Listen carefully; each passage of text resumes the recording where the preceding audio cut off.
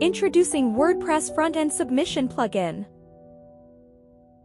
Hello everyone. In this video, we are introducing WordPress Front-End Submission plugin. With this plugin, WordPress users can submit, edit and delete article posts without visiting the admin area.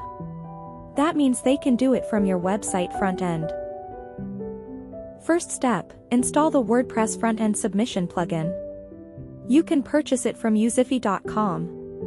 We put the product page URL in the description of this video. Once the plugin is activated, go to Settings, and then Front-End Forms. Add a new form there. Fill in the form title. And then, drag and drop post fields and custom fields you want from the right column to the left column.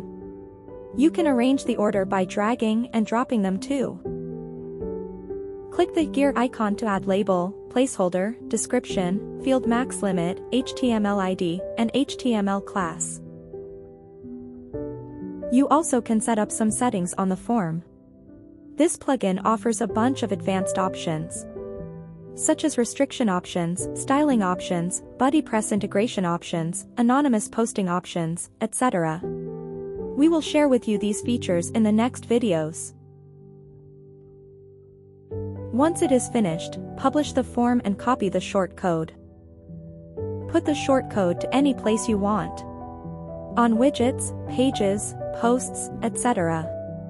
In this video, I will put it on a single page. Let's see the result. You will see a front submission form.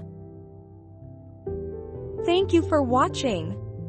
And see you in the next video.